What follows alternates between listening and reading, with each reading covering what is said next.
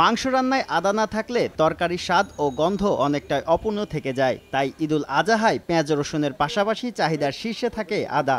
ঈদের পরও বাড়তি চাহিদায় বেড়েছে মশলা জাতীয় এই পণ্যের দর। মোহাম্মদপুর পাইকারি কৃষি মার্কেট ঘুরে কোনো দোকানেই দেখা মিলল না দেশি আদার। ঈদের আগে এই বাজারে প্রতি কেজি চীনা আদা বিক্রি হয়েছে আশি থেকে পঁচাশি টাকায়। অথচ চলতি সপ্তাহের শুরুতেই এই দাম উঠেছে একশো পাঁচ টাকা পর্যন্ত।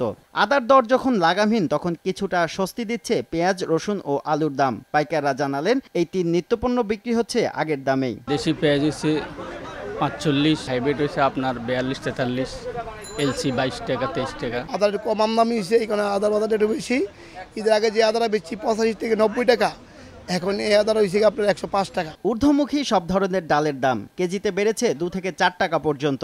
মান ভেদে প্রতি কেজি মসুর ডাল বিক্রি হচ্ছে পঁচাত্তর থেকে আটাত্তর টাকায় মুগ ডাল পঁয়ষট্টি থেকে পঁচানব্বই টাকায় আর বুটের ডাল বিক্রি হচ্ছে ষাট থেকে পঁচাত্তর টাকা দরে। বেড়েছে এলাচের দাম তবে বাড়া কমা নেই লবঙ্গ জিরা দারুচিনি সহ অন্যান্য মশলার দরে। ঈদের আগে মসুর ডাল আমাদের পাইকারিতে ছিল পঁচাত্তর টাকা সেই ডালটা এখন আটাত্তর টাকা। মেলাররা বলতেছে যে লেবারের ক্রাইসিস মেল চলতেছে না।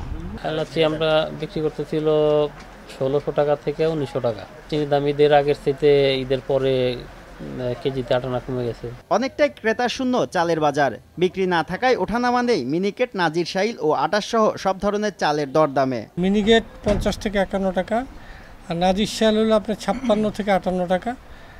আর আপনার আটাইশ হলো উনচল্লিশ থেকে একচল্লিশ টাকা। এ সপ্তাহের মধ্যেই ক্রেতাদের আনাগোনায় বেচা বিক্রি বাড়বে বলে আশা করছেন চালের আড়তদাররা শুভ খান, সময় সংবাদ, ঢাকা।